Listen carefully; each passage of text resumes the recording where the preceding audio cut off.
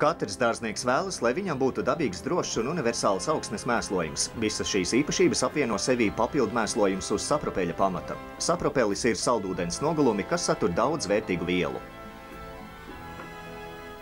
Чтобы получить здоровый урожай, Lai iegūtu veselīgu ražu, nepieciešams, lai būtu veselīga augsne un vajag labi papūlēties. Augsnes veselībai tiek piedāvāti divi Latvijā ražoti produkti – no saprapeļa un kūdras. Saprapeļa mēslojumiem nav adaptācijas perioda. Tos var uzreiz likt augsnē.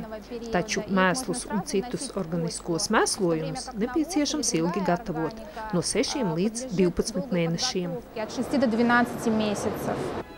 Biodepozīta agro – tas ir bioloģiski aktīvais augsnes uzlabotājs uz sapropeļa pamata, kas rada humusu, nepieļaujot augsnes eroziju un paaugstina ražīgumu. Cits organiskais mēslojums – biodepozīta eliksīr ir izgatavots no kūdras. Tas ir humīnskābju koncentrāts augu laistīšanai un apsmidzināšanai. Biodepozīta eliksīr ir novērtējuši Latvijas žurnāla ģimenes dārs lasītāji.